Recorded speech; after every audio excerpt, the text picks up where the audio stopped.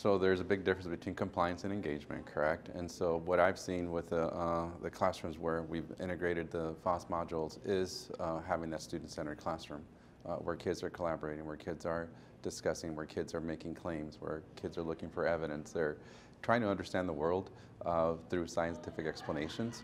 And so they're doing the work.